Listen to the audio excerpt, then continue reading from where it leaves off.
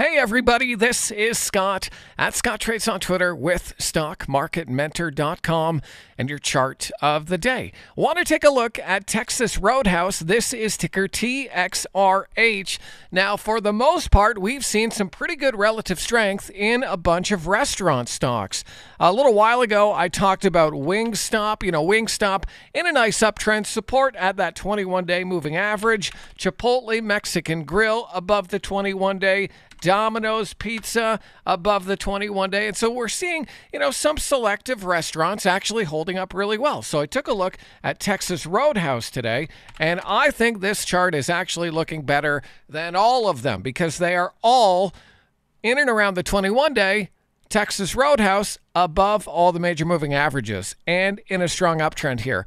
They had their recent earnings report looks pretty positive except for a downside, slight downside surprise on revenue, but it didn't really affect the stock that much. It popped up and then sold off, but still held above all the major moving averages. On the daily chart, I see a slight flag here, downward sloping trend line right there, and we have uh, some higher lows as well. So it is kind of in a bit of a pennant pattern, pinching a little here, and I want to see if this can break out and make a potential new high with a move above 170. So I would definitely want to set an alert on my software just around that 170.30 level and look for a strong move through that zone coming on volume.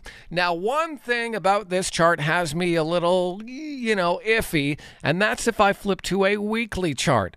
On the weekly chart, we can see decreasing volume as the price goes up on a weekly. So it is primed for a potential weekly higher low that could see it land you know, I think down here at around 159 is probably doable. So if we do get a weekly higher low, I'd like to see that level hold as support. So there's no real rush without that break higher. And if it does end up pulling back, I'd want to see it find support right around there on a weekly level. But if we do get some upside follow through, definitely keep an eye on Texas Roadhouse and look for a move through that 170.30 pivot coming on volume. So that's just one of many things we're looking at tonight at stockmarketmentor.com. Dan Fitzpatrick added a handful of stocks to his active trade list. If you want to see that list, click the link, take a trial, and hopefully I'll see you on the other side.